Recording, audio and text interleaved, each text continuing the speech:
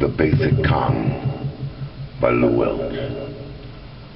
Those who can't find anything to live for always invent something to die for. Then they want the rest of us to die for it too.